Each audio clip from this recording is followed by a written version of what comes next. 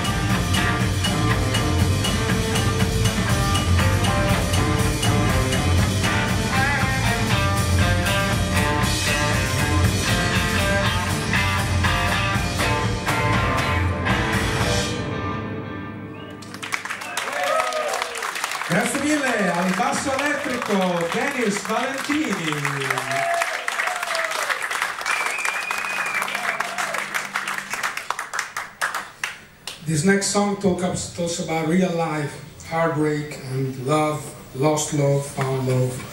There's a member of the band that I won't mention, but they just point the finger to.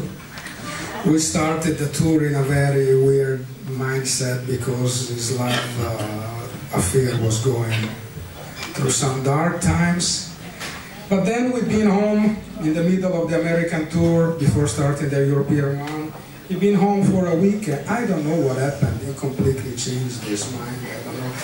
When we were playing this song in the first part of the set, the first part of the tour, it was a desperate song. Now we're starting to a lullaby for a newfound love. Ladies and gentlemen, a man in love with love, Franz Valtieri on saxophone.